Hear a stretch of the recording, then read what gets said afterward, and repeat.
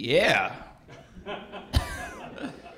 Woo, yeah, I'm from New York City, everybody. Uh, we, we all know that New York City is the melting pot, right?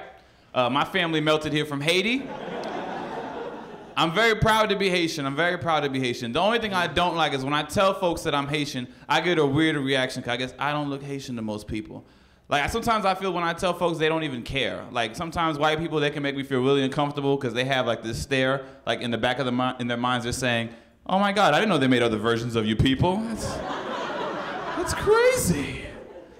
A lot of times I get, "You don't look Haitian enough," and I'm like, "What is that supposed to mean? You don't look Haitian enough?" Like, am I supposed to land some rubble for a few days and then come back out like, ah, "Here I am"? Do I qualify now? Is there enough third world struggle on my face?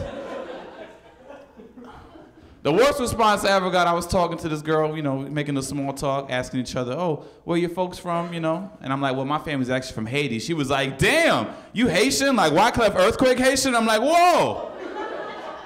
What is that supposed to mean? So you're just gonna associate me with tragedy off the jump? That's how we're gonna start this conversation? She started apologizing because she knew she was in the wrong. She was like, oh my God, I'm so sorry. I didn't mean the earthquake comment. I'm like, no, why you gotta compare me to Wyclef? He is ugly as hell. I can't get a better looking Haitian. You can't upgrade me. I can't get a Lenny Kravitation. What's up? Everybody's like, oh my God, I had no idea Lenny Kravitz was Haitian. And here's the thing, people, here's the thing. He's not Haitian, but if he was, that'd be a good example to have. It's way better than Wyclef Haitian any day of the week, people. I'm a little vain, I'm not gonna lie to you. I have aspirations. Besides sexy, I wanna be like GQ sexy. You know what GQ sexy is? GQ sexy is when you get to take pictures with your eyes closed, looking down at your chest like this. Just, just have that freedom, that confidence. You can't do that when you're ugly. When you're ugly, all your faces are like this in the photos. This is the only face you can make right here. It's like, didn't we tell you not to smile? I'm not smiling. I didn't do nothing. Uh, guys, even though I look adorable, uh, I'm broke as hell. Uh, I took took the train to come here. I love the trains out here, man. The trains in California, you guys have clean, efficient, powerful trains. Great trains. Compared to the ones in New York, I hate the trains in New York. Everybody's always like, oh my God, I love New York because you can take the train. Here's the only thing New York just has trains that run more frequent, and there's just a bunch of them. But doesn't mean that it's better, okay? I live in New York City, and it takes me three hours to get home. Does that sound fair? There's people who live in other states that get home before I do. That's a terrible way to live, people. The train is always breaking down, it's always getting stuck and they always have to make an announcement. You know, some guy speaks over the intercom to try and smooth things over with the people. They're like, please be patient. We're experiencing train traffic, but thank you for riding the MTA. Working very hard right now. Or, please be patient. We're experiencing signal derailment, but thank you guys for being patient and riding the MTA. And here's my favorite. Please be patient. Somebody committed suicide, and it's going to take six hours to clean it up. Thank you for riding the MTA. They don't really say that, but that's how. That's how it feels when they say an accident has happened, you know? Look, I'm not trying to sound like I'm insensitive, okay? Look, the first few accidents, I was very distraught. I showed a lot of emotion. I'm like, damn, why would somebody jump off a platform? That is a crazy way to go out. Who would do something like that? That was the first few suicides.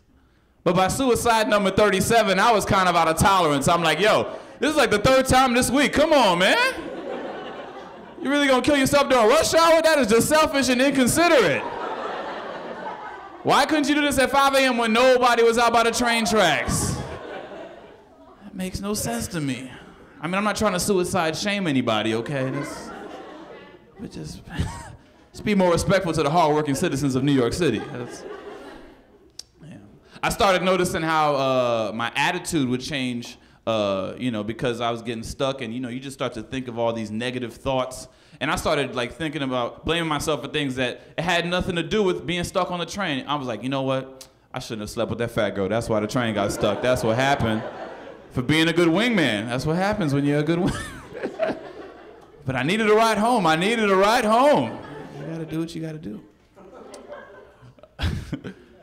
Yeah, but then uh, honestly, guys, what I would do, I would uh, usually I'm the type of person if I see like a, a, woman with children, I'll help her with her stroller, you know what I mean, or or um, I help somebody with bags, or I used to give her my seat. I stopped, I stopped giving away my seat. I cut that off. I'm like, you know what? Forget everybody. I work hard too. I'm sitting down.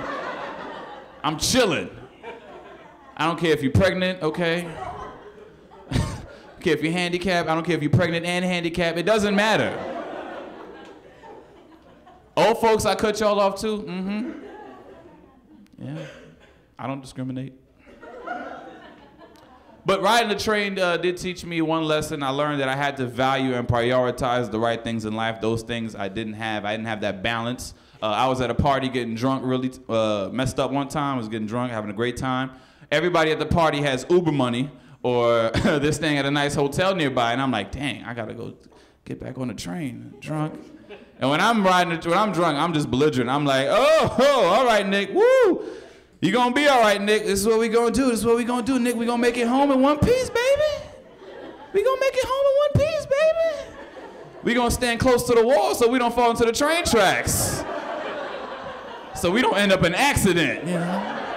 Just stay close to the wall and you're gonna be all right.